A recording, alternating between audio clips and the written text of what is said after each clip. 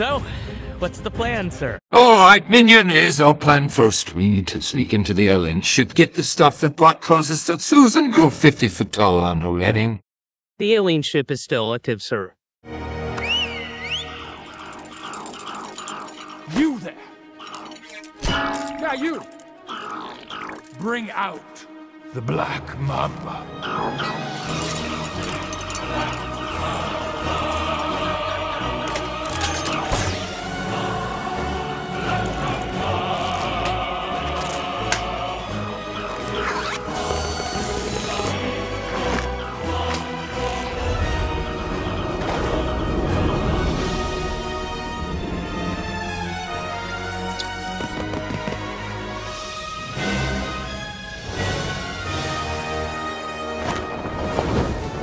Okay, Gallaxhar.